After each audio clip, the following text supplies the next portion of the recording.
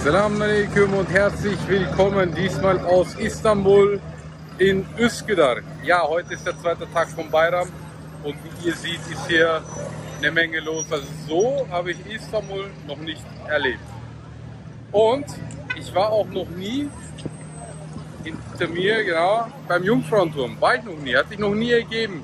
Also entweder war da einmal ähm, geschlossen oder es wurde renoviert oder eben wie jetzt, es ist so voll, dass man warten muss, bis man drankommt. Aber gucken wir mal, je nach Lust und Laune werde ich warten. Ich meine, wie gesagt, ich war da noch nicht, ich habe das äh, ungefähr viermal probiert. Wenn es diesmal nicht klappt, dann kann ich ja dann wieder warten. Macht ja nichts.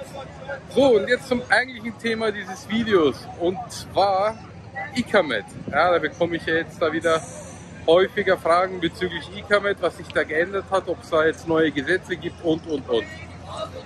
Im Großen und Ganzen hat sich ja nichts geändert. Ne? Wer also äh, Wohnung kauft, muss im Tabu den Betrag von 200.000 Dollar umgerechnet in Tele drin stehen haben.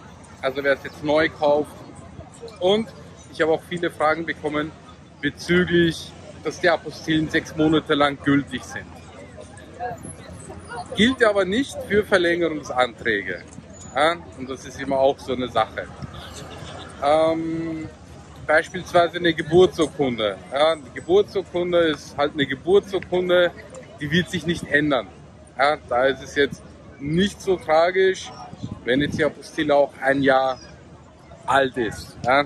Aber bei einer Heiratsurkunde ist es wiederum etwas, ist es wiederum etwas anders, ne? weil man kann sich ja scheiden lassen und äh, deswegen sollte beim Erstantrag eben die Apostille äh, nicht länger als sechs Monate gültig sein.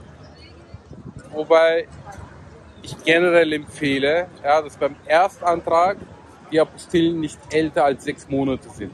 Beim Folgeantrag ist es egal. Das heißt jetzt noch lange nicht, dass man beim Folgeantrag oder beim Verlängerungsantrag jetzt dann nochmal neu sich eine Apostille ausstellen lassen muss, was ja auch blöd wäre. Ja, das ist das eine. Das zweite ist, aber jetzt wird auch, egal, äh, beim Folgeantrag, das betrifft aber jetzt nur den Folgeantrag, Neuanträge nicht, weil das beim Neuantrag auch nicht technisch möglich ist. Und zwar, dass man sich von der PTT eine sogenannte UETS-Adresse anlegen lässt. Also Ulrich, Emil, Theodor, Siegfried. So buchstabiert man das. Aussprechen tut man das auf Türkisch mit UETC.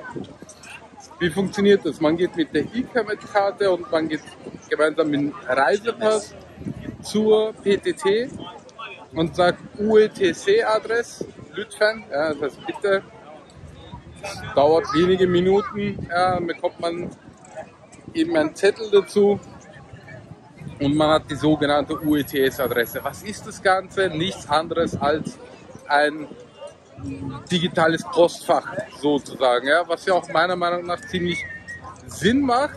Warum?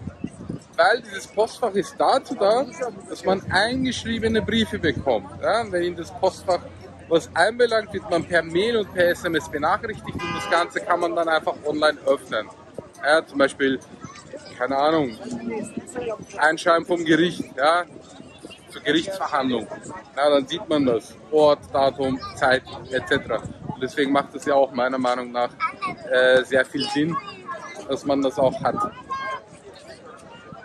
Wie gesagt, betrifft aber nur den Folgeantrag, weil beim Erstantrag kann man sich ja das auch gar nicht anlegen lassen, ne? weil man da auch keine E-Camet-Nummer äh, äh, hat und so weiter. Also aktuell ist es beim Folgeantrag, ja, vielleicht ändert sich das beim Erstantrag, mal sehen. Ja, da ist jetzt ziemlich äh, Rush Hour hier zu Bayram.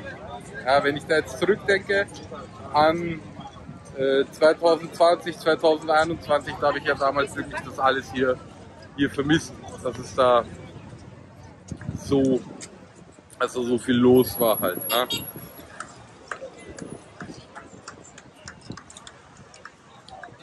Genau. So, was ich euch noch äh, ans Herz lege, ist folgendes. Und zwar ähm, gibt es da Leute, ja, die so von sich aus behaupten, ja, ich hatte zwar Probleme, was auch immer, ja, es ist jetzt egal bei welcher Angelegenheit, also bei einem Amt zum Beispiel, ja, und dann erzählen die Leute von sich aus, ja, da habe ich einfach Schokolade mitgebracht, habe sie ihm geschenkt und mit Schokolade habe ich da quasi mein Problem lösen lassen. Ja. Also das äh, wissen die Beamten, dass das so geredet wird. Ja, und ähm, erstens einmal ist es nicht so. Ja. Also wenn es etwas ist, was zu lösen ist, das löst man gerne. Ja. Aber wenn es nicht zum Lösen ist, dann löst man das eben nicht mit, ähm, ja, nur weil der jetzt eine Schokolade geschenkt hat oder ähm, Schmiergeld oder so. Ja, das gibt's nicht. Deswegen so meine Empfehlung an euch, ja, dass ihr halt nicht mit der Einstellung hingeht, so mit Schokolade lasse ich alles machen und schon auch gar nicht das äh, rum erzählt, ja, weil die Beamten wissen ja, wer da was erzählt und so weiter. Fragt nicht wie, sie wissen es einfach. Also ist äh, die Sache. Ja, so viel von mir. Ja, also eigentlich nur am aktuellsten sind eben die zwei Änderungen.